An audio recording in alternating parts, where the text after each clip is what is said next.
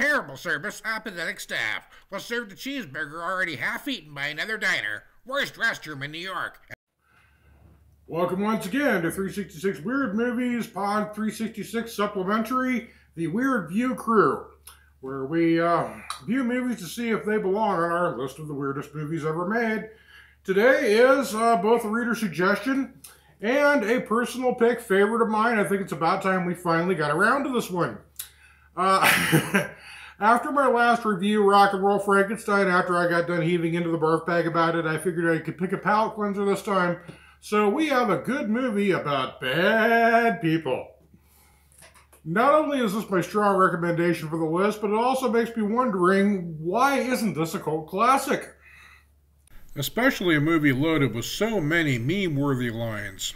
But even from a basic level, I just don't think I'm a money person. I mean, that's what I figure it resolves to, you know? What do I care about your basic levels? I am a money person and you owe me money. And I hit the raisin machine, I hit the gumball machine, I hit the peanut machine, everything, you know? That's what I'm going to do to you if you don't shut up. Mrs. Aiken, the um, hair in my nose is growing back again. I know it's not your fault. It's my nose. I mean, I just thought I'd mention it.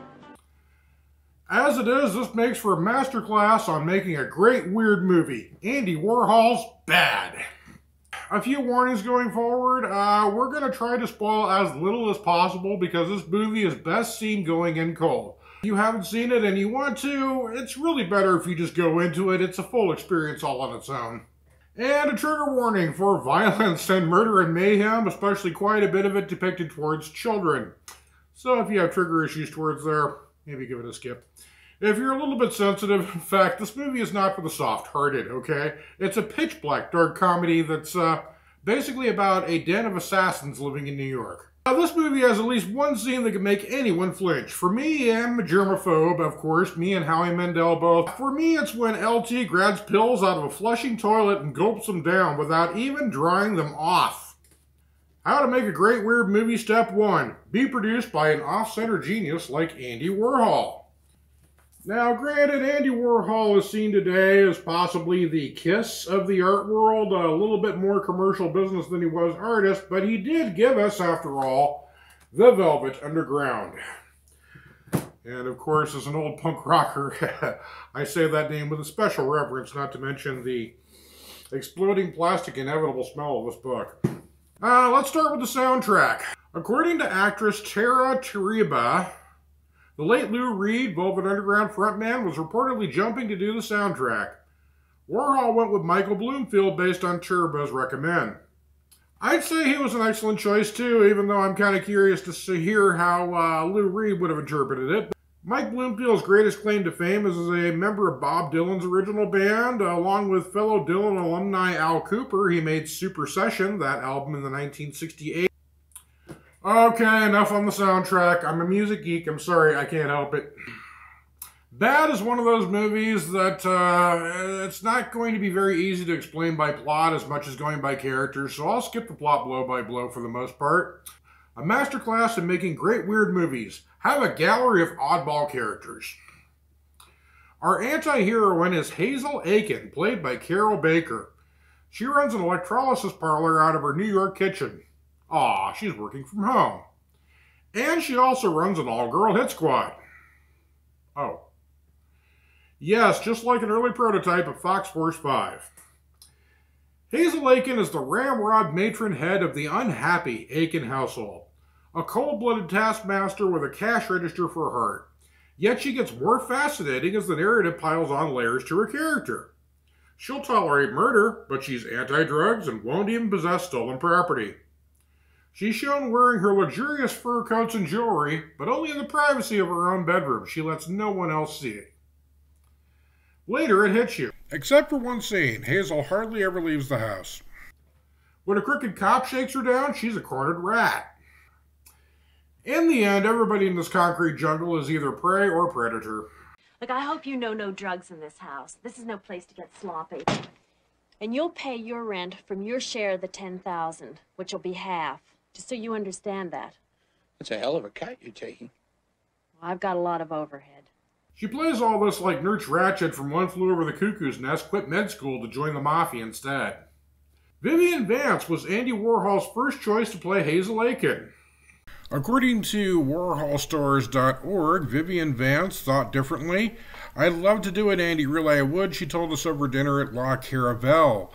But you must understand that for all those people there, I'm still Ethel Mertz, Lucy's next door neighbor and the nicest woman in America. And that's why I can't still go to any dinner theater in the country and get paid 20 grand a week, because all my nice fans and their mink stalls want to see Ethel Mertz be nice. I hate being nice, and I hate my fans, and I hate their mink stalls. But I love making 20 grand a week anytime I want. Vivian Vance, zero chill. Next, we have Mary Aiken, Hazel's sister in law, and you know her as Susan Tyrrell, whom you know as the Queen of the Fifth Dimension from Forbidden Zone, our list pick, and again, one of my top 10 favorite weird movies. Tyrrell picked up a Saturn Award as Best Supporting Actress for this performance, and she earned it. Mary is a single mom on welfare. Hazel takes her whole check every month, so she's just stuck at home taking care of the baby. Mary is the heart and soul of the movie, being the only character with a drop of empathy. You really look like a witch. Look at your hair. Yeah.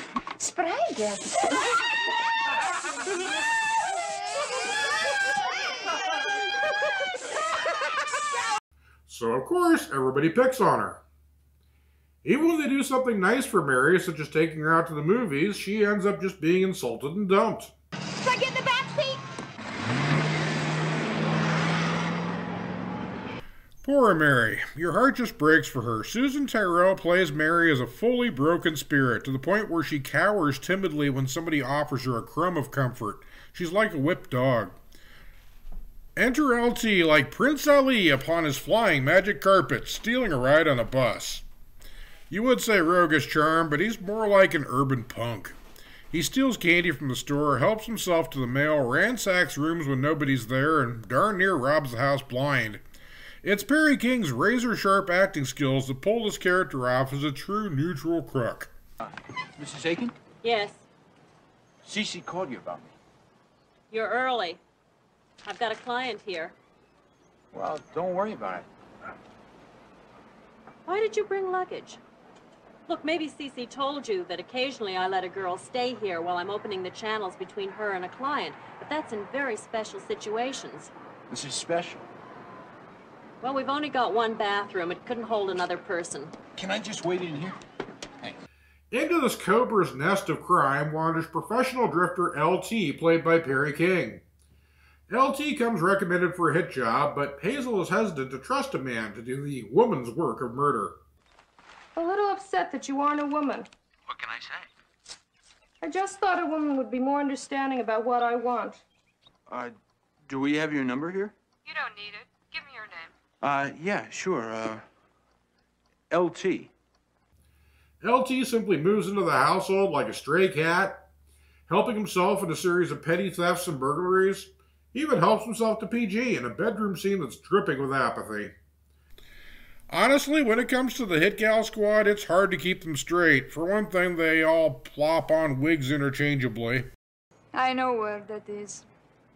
Uh, he works until 10. He's alone there after 8. There's an IRT subway stop right exactly in front of the place, almost by the pumps. I want you to wait there and follow him down into the subway. When you see a train coming, I want you to shove him real hard onto the tracks. I believe there's an A team of RC, Cyrinda Foxe, and PG, Stefania Casini. You back already? Must have been a real quickie, huh? A real shorty? Oh, she wanted me to get rid of her baby. And then to save the money, she chucked it out the window herself, the bitch. Oh, no!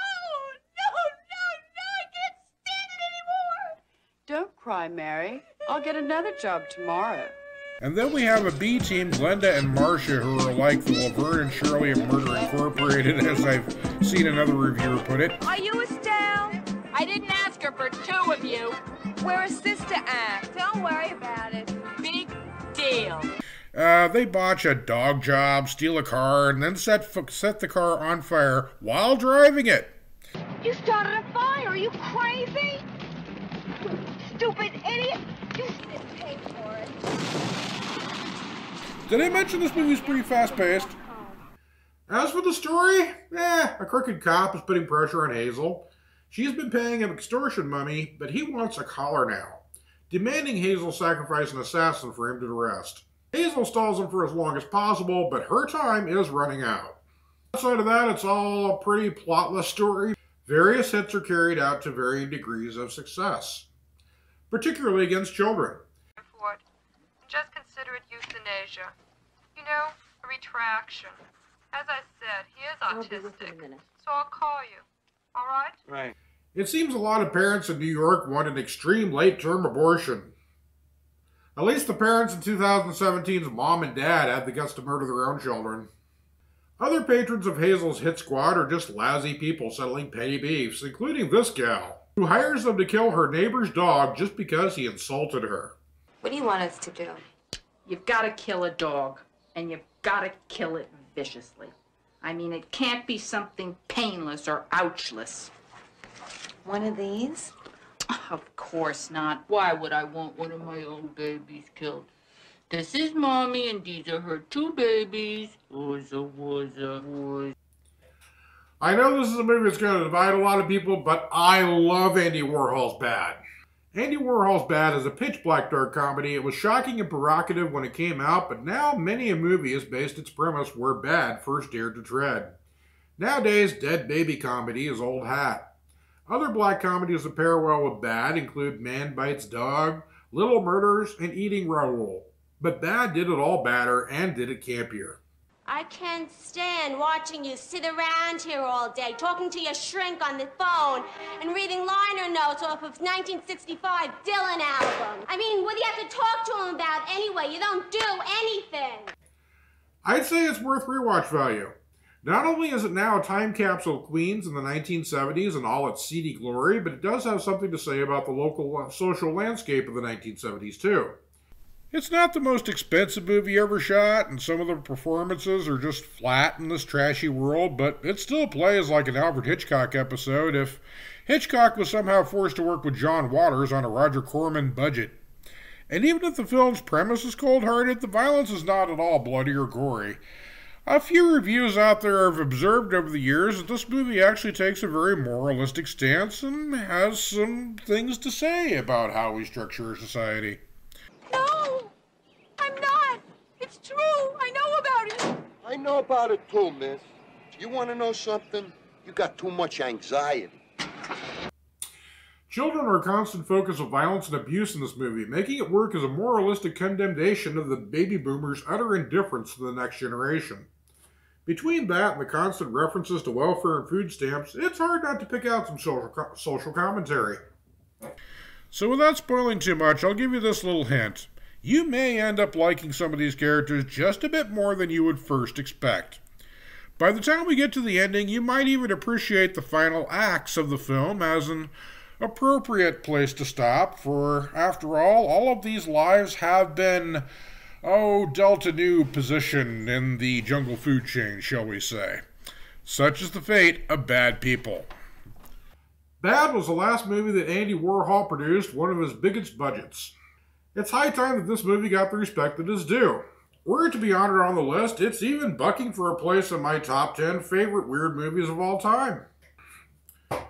I realize this movie isn't for everyone, so if you treat my recommend as me being partial to dark comedy, gosh, whatever gave you that idea. What kind of grandmother are you? Having baby killers in the house with a baby? She'd kill any baby. She would not. She only does what she's paid to do. I say it's a good time to be a fan of Bad.